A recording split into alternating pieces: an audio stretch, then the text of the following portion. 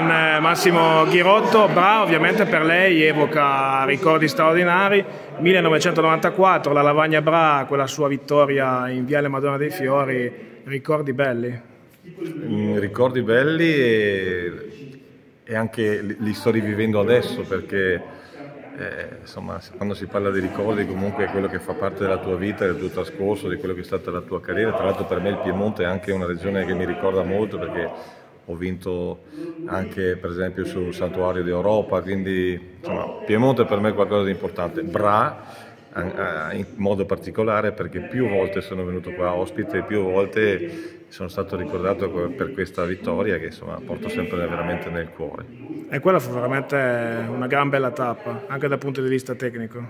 Sì, una tappa non proprio facile, diciamo è un po' ondulata, ma la caratteristica e la curiosità è che all'inizio della fuga eh, c'era anche eh, la maglia rosa. A un certo momento mi giro, vedo indietro e nella fuga c'era Berzi. Il che gli ho detto: Senti, Berzi, inutile, se stai qua la fuga non va. Lui capì, si staccò e la fuga arrivò e mi consentì di portare a casa la vittoria. La tattica giusta. Senta, dal 94 dobbiamo fare un salto al 2023. Questa Barivoli si presenta. Con, insomma, che tappa si, come si presenta questa tappa? Beh, eh, potrebbe essere una tappa interlocutoria, voglio dire, dove si potrà eh, vedere magari anche una fuga che parte dall'inizio. Sai, poi il Giro d'Italia è sempre qualcosa di imprevisto, delle volte vediamo tappe che non si aspetta poco, come quella di Torino l'anno scorso, per esempio, dove c'è stata una selezione veramente importante. Quindi il Giro d'Italia è sempre qualcosa di importante. Vincere una tappa adesso ancora di più rispetto a qualche anno fa o tanti anni fa eh, vale molto.